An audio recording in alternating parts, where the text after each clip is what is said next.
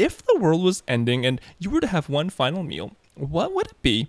Who would make it? Where would it take place? And who would be performing? Who would be performing? Oh boy.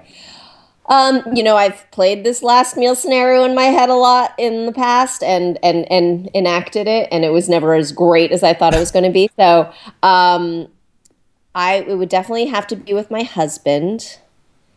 It would be whatever we were craving at the moment, and that could mean because that that's my big thing is I only eat what I want at the time. Now, if the world was going to end, I might not be that hungry, but but um, you know, if it happened to be a salad, I'd make it a really great salad and probably a homemade one because I make good salads. If it was something a little different, um, like a little more decadent, uh, it would probably be Pepe's Pizza Pizzeria in New Haven. Um, but I'd have it magically delivered to my house, of course, with my dog. And I think we'd watch old videos. I think I don't think I'd have anyone entertain us ourselves because I'd want to remember what what had transpired in my life cool. before the end of it.